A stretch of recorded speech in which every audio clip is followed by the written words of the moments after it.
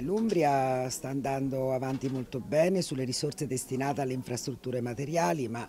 naturalmente un tema fondamentale è anche quello del digitale, della banda ultralarga che deve arrivare in tutti i nostri territori. L'Umbria è una terra che ha molti bellissimi borghi, eh, però eh, disseminati nel territorio dove è possibile vivere, dove non solo è possibile fare una vacanza straordinaria ma anche uno stile di vita per cui eh, sicuramente l'infrastruttura digitale è fondamentale per consentire eh, di venire a vivere in Umbria, di investire e anche a lavorare nella nostra regione.